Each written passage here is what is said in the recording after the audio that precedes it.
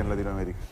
Y tenemos novedades de Donald Trump, que ha estado en relativo silencio desde que dejó la Casa Blanca, ha publicado algunos eh, comunicados respecto a algunos temas, pero José, ya lo habíamos comentado que sabíamos que Donald Trump de ninguna manera se iba a quedar callado después de dejar el poder y menos eh, aún cuando le eh, cerraron su cuenta de Twitter. ¿Y por qué? Porque, según anticipó uno de sus asesores, Donald Trump estaría planeando volver a las redes sociales y con su propia plataforma, además.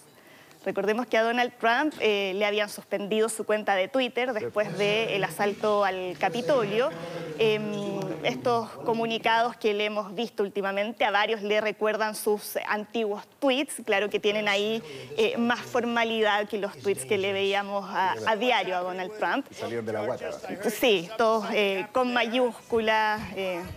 En fin, pero se especulaba que él podría crear su propio canal de televisión, pero al parecer eso no va a ser así porque según eh, Jason Miller, que es uno de sus asesores, en una entrevista a la cadena Fox dijo que dentro de dos a tres meses Donald Trump va a regresar a las redes sociales. Y aquí, según sus palabras, dijo que va a ser algo que redefinirá el juego por completo y que todos van a estar esperando y mirando para ver exactamente qué hace el presidente Trump. O sea, igual como ocurría cuando él tenía su cuenta de Twitter, era su principal canal de comunicación y estábamos todos pendientes de cuál iba a ser su pronunciamiento en, esa red social.